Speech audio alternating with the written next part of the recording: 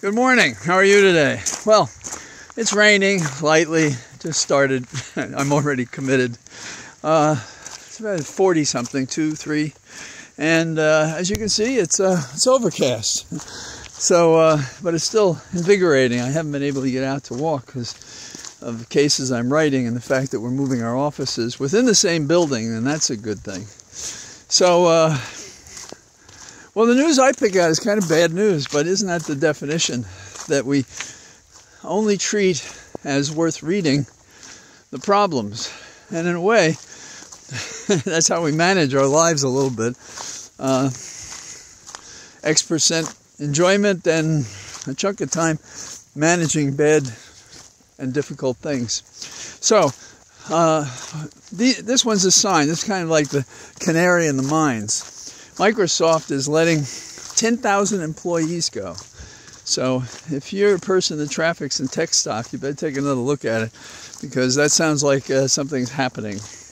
And for we Enviro green tree huggers, we have to be concerned that Greenland is uh, ice sheet is the warmest it's been in a thousand years, and the temperature went up 2.7 degrees and I don't, I don't know the, uh, the period. I mean, I don't think it's 100 years, but they claim in recent years. That's, that's true, that's, that's an enormous difference. Of course, we're talking about a concentrate of ice. So I'm to have to do more research and report back to you on that.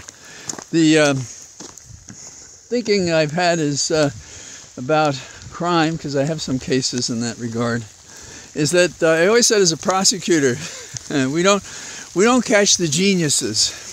And in that category, I had a client uh, who was accused of committing bank robbery by following people to a bank and then following them when they made cash withdrawals and taking the cash from them. But consider that, let's just say hypothetically in this case, and this matter is public, that uh, then they put the money on a table and took a picture of it. Uh, and it was one of those live pictures so that you could actually hear what they were saying and they're chortling about the money they got. Not a good move. The um, uh, in the there, there's a another interesting. There's a guy who murdered his wife. Okay, and I don't know what evidence they had of it, but uh, among his Google searches afterwards was how to dismember a body, and uh, that that didn't work out so well for him. In the category of seems to me really innocent and a lot of bullshit is the Alec Baldwin case. I just, I, I am sympathetic to his defense that he didn't know the gun was loaded, like a favorite song that some people sing. And so I think that that's, uh, that's pretty terrible. In the category of maybe people deserve it whether it's true or not, uh, some think the unsaintly Santos uh, was, uh, was dancing drag in Brazil. Well, anything's possible. It would be funny that the true story outstrips some of the stories he tells in a negative way. And then finally, uh, one of the reasons I wasn't available the last couple of days is uh, I've been working on an appeal to the DC Circuit Court of Appeals attacking how patients are being treated in a case involving a, uh, a doctor who has prescribed medicine to them, which allowed them to function, and they all had long-standing uh, disabilities and problems, and so they're really under palliative care because uh, they will have these problems the rest of their life, probably. Now, it may not happen, but that's kind of the the way the doctors are looking at it. And uh, I found out uh, yesterday that uh, they're permitting us to have a full appeal to the U.S. Court of Appeals for the District of Columbia.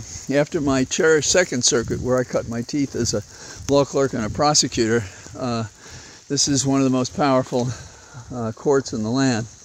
How we're going to do, I don't know, but we're we're to borrow from uh, Marlon Brando. I think we could be a contender. You know, we could be a contender. So uh, I have enjoyed working, and uh, I was surprised how much fun it was to be at my office with uh, the other members of the, the firm. And, you know, and I talked to them and so forth. But in recent days, we worked on an appeal together. Uh, that is, uh, I was brought in sort of as the arbiter. Does that make sense or this makes sense? And we'd all read the papers, and it was a lot of fun working it together at a distance, me wearing a mask. So, uh, I guess uh, I know it's going to rain tomorrow. Tomorrow I'm going to go back to the office and finish packing because on Monday we'll actually move the the machines, the electronics, and so forth into our our new abodes. So it's good talking to you. I've missed walking, and it feels really good uh, because it's not a substitute when you work on a treadmill. Not when you have the trees, the trees, the trees all around. So nice talking to you. Try to talk tomorrow. Bye bye.